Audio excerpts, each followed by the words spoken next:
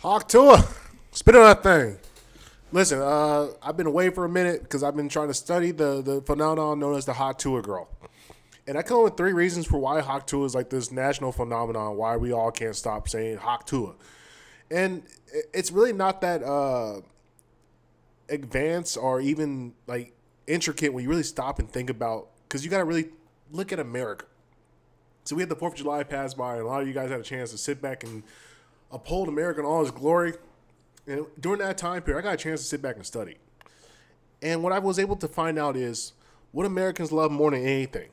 What Americans love more than anything, and this is why Hawk Tuah Girls is absolutely famous and why she's blown up the internet. It's not nothing to do with sexuality. It has nothing to do with uh, deviancy. Has nothing to do with her being a white blonde girl. Has nothing to do with none of that. It could have been anybody. Could have been an uh, Indian girl from South America. It makes no difference. What we love in America is, and what she represents, is the common person.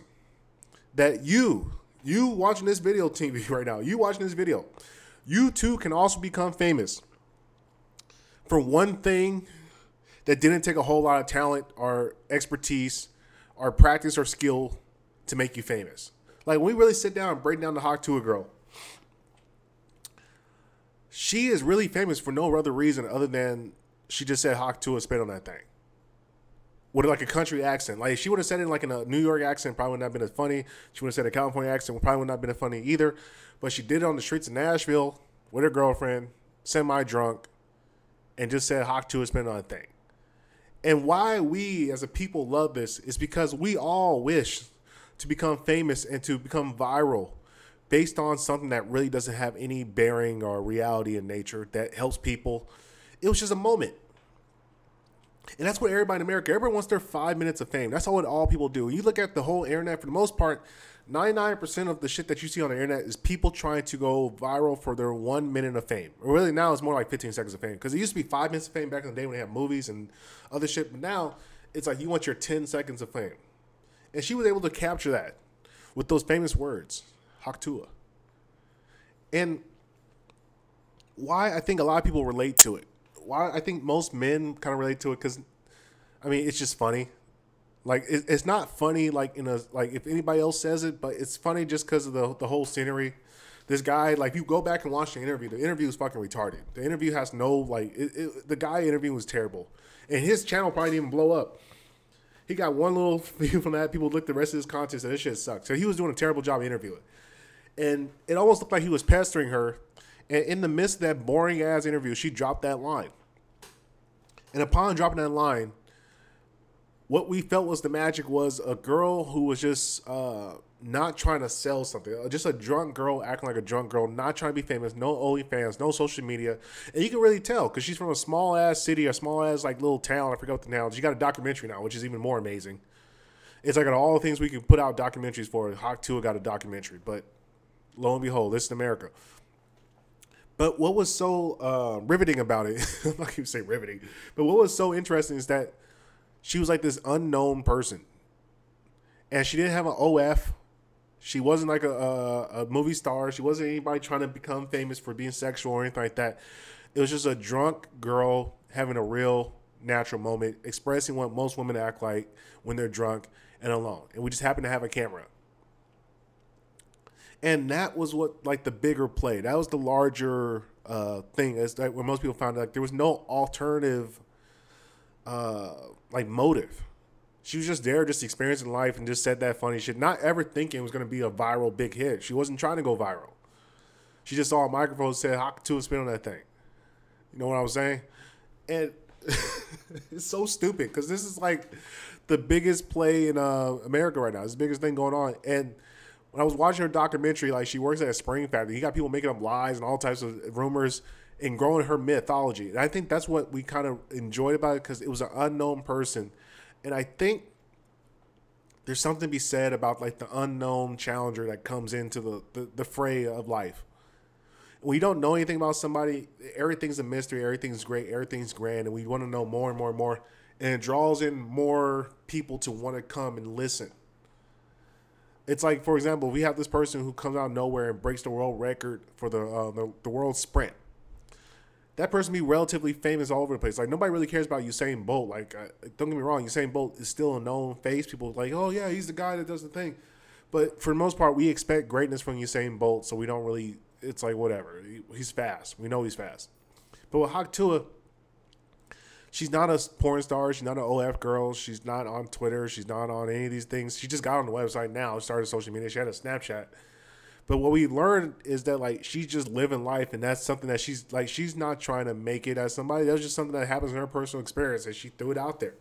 And that comes like to my second thing is like the bar for internet content, internet entertainment is so low. It is so low. As a person who makes YouTube videos, and I don't do it as uh, frequently as I should, but as, as a person who makes YouTube videos, one of the things I've been able to discover is that if your content is original and somewhat relatable to the every person's experience, you will grow a lot steadier as opposed to the person trying to capture light in a bottle. So you can be like the Tates, you can be like the Amani Herzog, you can be like the all these other different people. If you try to capture like be this big ass like psh, flash in the pan, that's what you will be a flash in the pan because there's so many of those people all over the place what really blows up and captures people's imaginations in the internet webs or in the video realm of like the interwebs is relatability, character, and just being like a, a person, just being an original person. Because everybody's a remake of everybody. When you even when you look at like the streaming thing, Kai Cenat, Duke Dennis, uh, Adin Ross, they're all basically the same guy. They're essentially all the same person. It's not like a bad thing, but it's just like they literally are all the same human being. They all sit there and they stream all day long and they make the same videos on the same things and they do the same wild things and there's nothing truly entertaining. They're they're interchangeable mediocrities. There's very few people out there that actually capture your imagination, capture your attention because they're telling you something that's engaging your mind and having you think in a higher level and that's what we started to realize. Now, Hawk Tuah is not anything like that. Like she, don't get me wrong, she's not like a philosopher or anything like that. But the reason she blew up so much, as opposed to all the OF girls who do like nasty things, they all do is an alternative motive. They're not there just being relatable, being a person. They're there on an agenda, which is I want to get you to go watch my OnlyFans and pay me fifteen dollars a month. She was just on there, just kicking it, having a good time, just chilling, and that's why she blew up. And it brings down to my like my my second point or the, the third point I would say is like it's the no alternative agenda. People can read when you have alternative agenda when you're putting out things on the internet. Like I think most people think a lot of people are stupid, which most people are stupid. Don't get me wrong. There's a lot of dum dums, a lot, a lot of dum dums. But when you're speaking simply from the heart, you're speaking as a person who just simply sees things out there, and you're commenting on what you think and what you see and what you perceive, and you tell like kind of like your truth, and you don't try to become a character that you're not. It's it, it, resonates with people. Like the Hawk Tuah spin on thing. Every guy got a girl that they want to Hawk Tuah spin on their thing. Which is funny to guys. I bet there's some women that fucking hate on her. Because they're like, why is she so funny? Why is everybody liking her stuff? That's gross, degenerate.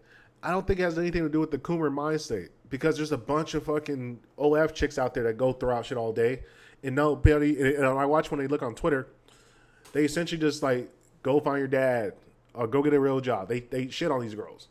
So clearly that's not the common denominator. I think it's just like there's no alternative motive. There's just somebody out there having fun, making a funny uh, video, and kind of tipsy. But that's why I think the Hawk Tuah blue girl blew up. I don't know how long it's gonna last. I can't expect it to last that long. And like you will know, like most human beings, because people are mostly herd animals and followers, we will see a gangle of goose of other people copy exactly what she did and try to be something funny like that and we'll all bring it to shit because once there's always original, there will always be mimickers and copycats. But anyway, appreciate you guys for listening. Hoping that got you guys understanding better why Hawk Tuah is famous, which I'm still trying to work on a theory, but uh, it's confusing. America's confusing. The internet's confusing. God bless us all.